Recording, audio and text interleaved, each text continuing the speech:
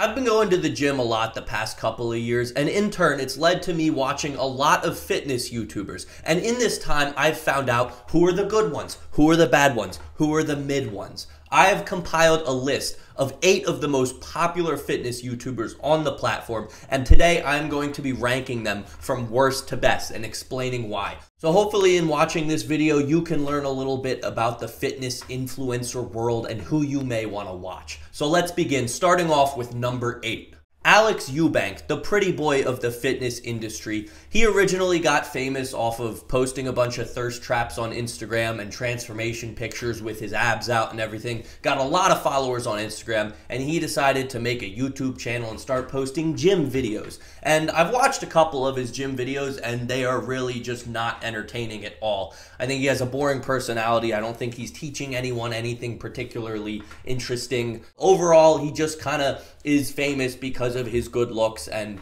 his main fan base is teenagers who think going to the gym is going to make them look like him when in reality all you need is good genetics hair product and good lighting and camera work. So i think he's a big problem in the whole unrealistic beauty standards for men problem because a lot a lot of his instagram pictures are just you know perfect lighting perfect you know perfect chiseled face. Like it's an unrealistic standard for young men to look up to. So I just don't overall like his vibe and what he's pushing. So that's why I'm putting him as the worst fitness influencer.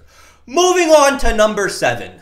Greg Doucette is coming up next, and I will say this was a tough placing. I have a very love hate relationship with this channel. I am subscribed to Greg. Um, there, there's a lot of pros and cons when it comes to Greg's channel. So, on the good hand of things, he is a retired bodybuilder, powerlifter. He's held world records. He is very, very accomplished in fitness and strength and everything. Um, so he definitely knows what he's talking about. However, the cons and the big cons are the constant, never ending clickbait and drama that he gets himself into. It's just every single day there's a new video of him screaming about a different person. And like his voice, his voice the screaming just becomes never ending. In the house, and you're bored and you're bored, and you're in the house. Can't train to failure because I'm going to get hit. You're disagreeing with saying exactly what I said in the video. They're a dime a dozen why? They're all gonna give you chicken broccoli rice, chicken broccoli rice, all of them, every single one. And another problem is he's very clearly making his videos for money. You know, there's no problem, you know, it is their jobs to make money off their videos, but he's constantly just between the clickbaits and him promoting all of his supplements and cookbooks and and everything else in his videos. It just seems like a constant money laundering scheme. Like I promise you there is no one on this planet that needs to be spending $37 plus tax and shipping on 12 protein bars. No one. No one needs that, but he still promotes all of them in his videos like they were sent down from the heavens. He always uses the angelic effect. So, I'm not necessarily saying he's wrong in the stuff that he says or he doesn't know what he's talking about, but there is so much unnecessary clickbait and drama, and it's all just seems like one big money making scheme that I just, you shouldn't, it's not a rabbit hole that you should get yourself into. Coming in at number six, we got the Tren Twins. You've probably seen or heard about them before. They've absolutely blown up in the last one or two years on YouTube and Instagram and TikTok and basically everything. Um, they're two short mini Pekka twins who are extremely strong, extremely angry, and very much so on steroids. So a lot of their content just kind of surrounds the idea of just getting angry and lifting as many heavy weights as possible. And the videos can be entertaining and a little motivating, but um, the overall message that they're trying to push is just kind of move, like get angry, move as much weight as possible. It's not exactly something that people should try to follow, but I do think the videos can be funny and they can be good for motivation in general. So not bad, but not, you know, like the top of the top of the food chain as far as fitness entertainment goes.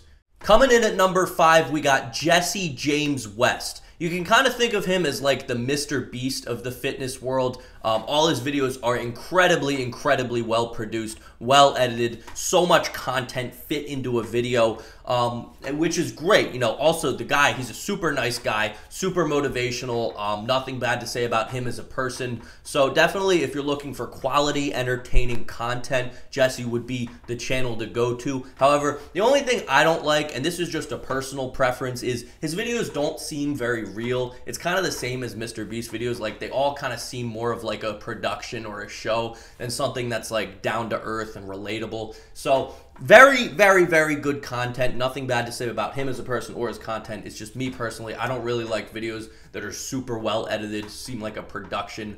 But overall, good guy, good channel. Definitely check it out.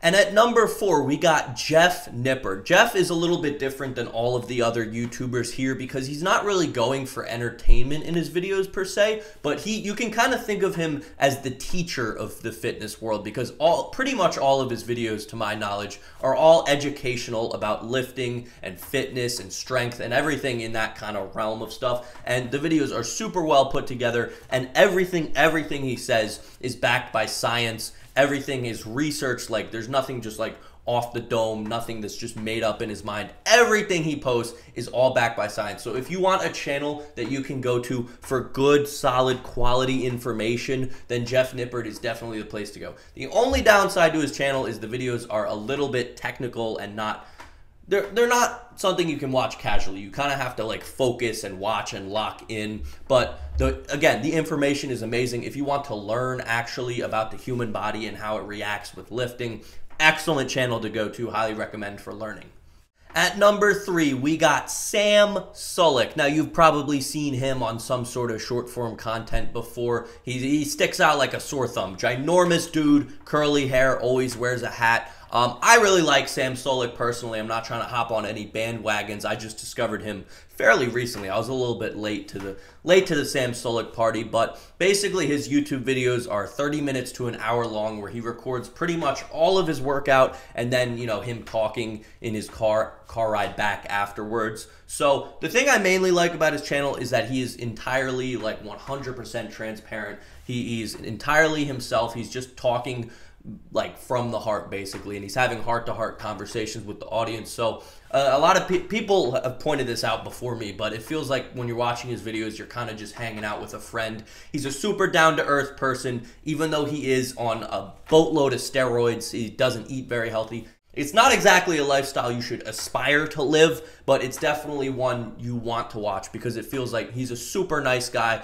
It feels like you're watch when you're watching his videos, you're just hanging out with with a buddy. So it's definitely good content to watch. The only thing I'd say is I don't really have 50 minutes a day to spend with him, so I don't watch all his videos, but definitely a great channel if you're trying to get get in relaxed and comfortable in the fitness world. Highly recommend. Coming in at number two, we have Will Tennyson. I really like Will's videos. Um, he's similar to Jesse James West in that his videos are super well produced, super high quality. But unlike Jesse, I feel like when I'm watching Will, it's exactly his actual personality. It doesn't seem like he's putting on any kind of show or trying to be someone else. He's just very much down to earth. And on top of that, his content is super, super unique. Like, I don't really know how to describe it without without watching it, but his videos, I'll show a couple on screen now. They're just so unique and not really something you'd find anywhere else.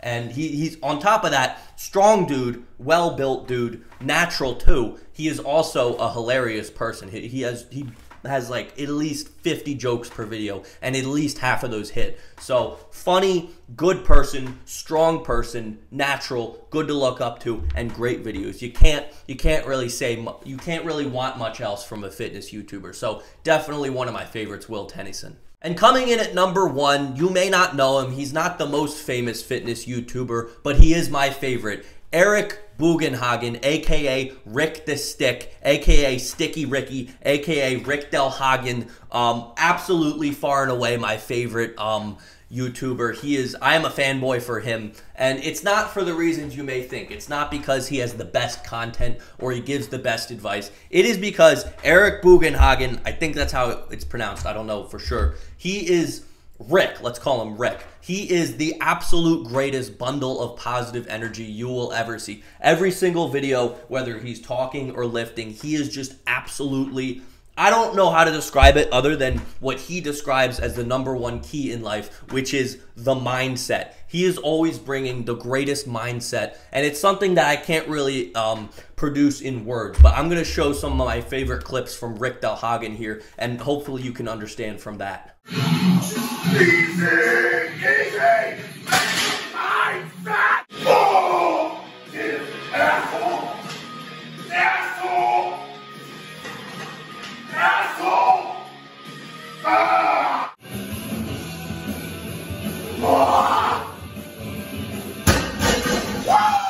Yeah, it's not exactly a traditional pick, but I absolutely love this guy. I can't get enough of his videos. Highly recommend. He this is when you look at him, it's just a guy who loves the gym and nothing else. He is just always utterly enthused with everything he does and you can tell it comes from a place of passion and nothing else they're not high quality videos there's no, no crazy editing but it's always him giving 100% of himself and that's what's real to me so that's going to cap off my list uh, my list of eight best to worst fitness youtubers let me know what you thought of my picks uh, my top ones definitely check them out if you haven't and uh, yeah i hope i taught you something new today or at least gave you something to think about. With that being said, I'll see you guys in the next one. Thank you all for watching. Peace.